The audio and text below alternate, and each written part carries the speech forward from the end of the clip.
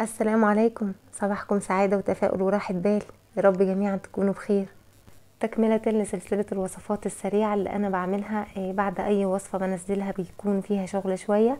يعني أنا من يومين عملت معاكم المندي فبحب بعد أي وصفة زي دي أنزل بوصفات سريعة شوية علشان يكون الموضوع سهل علينا في المطبخ وما يكونش متعب.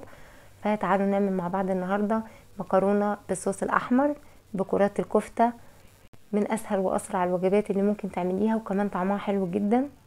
من غير ما نصبع كفتة ولا ندخل فرن ولا أي حاجة تعالوا نشوف مع بعض هنعمل إيه النهاردة.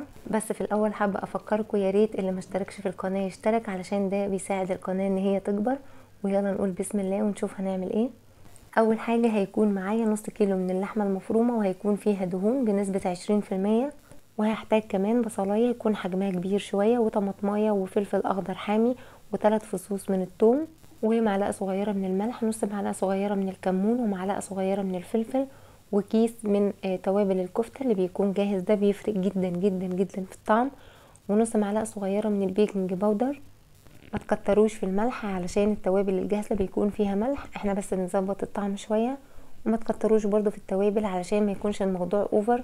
لكن لو أنت هتستخدمي آه توابل من عندك ومش هتستخدمي توابل جاهزة طبعا آه تقدري تحطي أي حاجة عندك توم powder بصل powder بابريكا الحاجات اللي إحنا بنتبل بيها اللحوم دي وهتطلع معاكي برضو حلوة جدا آه مع ال baking powder علشان الكفتة تطلع معاكي آه مش مكتومة وتستوي كويس. أنا فرمت البصلاية والطماطماية والفلفل الأخضر والثوم مع بعض كويس في الكبة لغاية لما ينعموا. وبعدين هحطهم على اللحمة وكمان هحط التوابل البودر وهتعجنيهم مع بعض كويس جدا. أيوه أنا بقول اعجنيهم مش قلبيهم. لغاية لما الأنسجة بتاعتك تظهر زي اللي أنت شايفاها دي اللي هي شبه الخيط علشان كرات الكفتة ما تفكش منك. وكمان علشان كرات الكفتة في الآخر يطلع معاكي ملمسها ناعم وشكلها متناسق فلازم تعجنيهم مع بعض كويس جدا. وعلى فكرة أنا بستخدم البصل بالمية بتاعته يعني أنا ما بصفيش مية البصل لأن أنا بكون متبلة اللحمة قبل بيوم فلما بسيبها في التلاجة بتتماسك معايا فما بضطرش إن أنا آخد مية البصل. لأنها بتفرق معايا جدا في طعم الكفتة. أنا سواء بعمل كفتة صوابع أو كرات زي كده ما بصفيش البصل من المية بتاعته ابدا. كل اللي بعمله إني بتبل اللحمة وببيتها في التلاجة ليلة علشان كده الكفتة بتطلع معايا ملمسها ناعم وشكلها متناسق وما بتتفكش مني. وفي طاسة على النار حطيت يعني 3 معالق كبار كده من الزيت وهسيب الزيت يسخن كويس وبعدين هنزل عليه بكرات الكفتة لغاية لما تتشوح وتاخد لون يكون خفيف. هي في المرحلة دي مش هتستوي إحنا بس بننزل الصوص بتاعها في الزيت يعني بنديها طبع طبعا كل ده النار بتكون عالية علشان الكفتة ما تنزلش ميتها. وهنفضل نقلب الكفتة على الجنبين علشان تاخد لون حلو. ولما تاخد لون زي اللي أنتوا شايفينه ده بلاش تغمقوها عن كده عشان ما تبانش ان هي محروقة. نطلع الكفتة من الطاسة ونحطها في طبق. وفي نفس الطاسة اللي أنا عملت فيها الكفتة هحط معلقة كبيرة من الثوم المفروم الناعم ولما الثوم يصفر هنزل عليه بكوبايتين كبار من صلصة الطماطم وهبهر الصلصة بمعلقة صغيرة من الكمون معلقة صغيرة من الفلفل معلقة كبيرة من الزعتر معلقة كبيرة من الملح ومعلقة صغيرة من البابريكا ومعلقة صغيرة من السكر. وهقلبهم مع بعض وبعدين هنزل عليهم بكرات الكفتة. وهسيب الكفتة في صلصة الطماطم وهي بتتسبك علشان الصلصة تاخد من طعم الكفتة. وهنسيب الطماطم تتسبك شوية بس طبعا مش قوي علشان الصلصة ما تتقلش منك ويكون قوامها وحش. كل ما صوص الطماطم الأحمر يكون خفيف كل ما بيكون أحلى. أنا هنا سخنت مية علشان أسلق فيها المكرونة هحط فيها معلقتين كبار من الملح. بس أنا مش هستخدم زيت في مية المكرونة علشان الزيت بيمنع إن الصوص يمسك في المكرونة كويس. يعني هسلق المكرونة في مية وملح بس وهسلقها بنسبة 80% مش أكتر من كده. أنا استخدمت مكرونة سباكيتي. ممكن أنتي تستخدمي أي نوع مكرونة بتفضليه.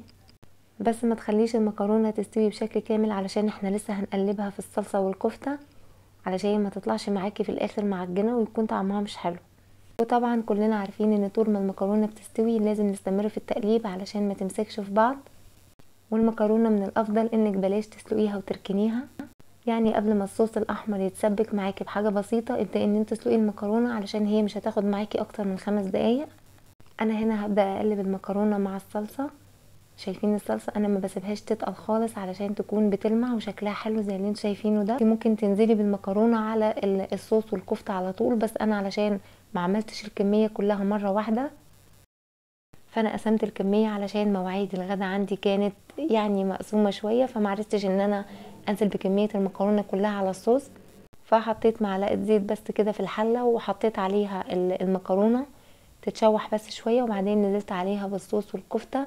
طبعا هتقلبي تقلبتين مش أكتر من كده لأن كده كده اوريدي هي الصلصة متسبكة.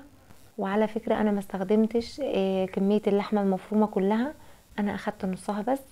يعني لو أنت هتعملي نص كيلو زي اللي أنا قلتلك عليه طبعا هيرمي كمية من كرات الكفتة أكتر من كده بكتير. بس أنا استخدمت يعني ممكن ما يحصلش كمان نص الكمية فحبيت إن أنا أعرفكم برضو المعلومة دي علشان ما تقوليش هم دول بس اللي طلعوا من النص كيلو لأ أنا ما استخدمتش النص كيلو كله.